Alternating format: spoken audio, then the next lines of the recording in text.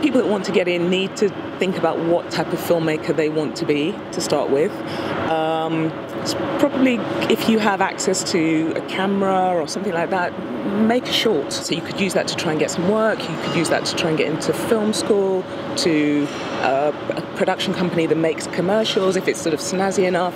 So a, a, a good short is a really good calling card you don't need any qualifications. You don't you don't need to have anything to get into this industry and do it. You need to be very ambitious to start with, to want to do it. Be completely organized, at least have an idea of what it is you're going to go out and try and do because it's always going to change. Be interested in people and the world so that you you know, you kind of watch people a bit and uh, listen to sort of the news and understand what's going on and have a, an attitude to what's going on around you so that when you have a scene or you something in front of you you have you understand what that might feel like. It's great fun and, it, and and you know if you get to do it just remember to enjoy it as well i think